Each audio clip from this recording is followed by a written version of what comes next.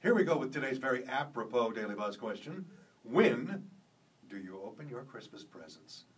Christmas Eve or Christmas Day? KMJNow.com, let us know. We'll give you the results on the air. I'm a Christmas Day kind of guy, but to each their own. Merry Christmas.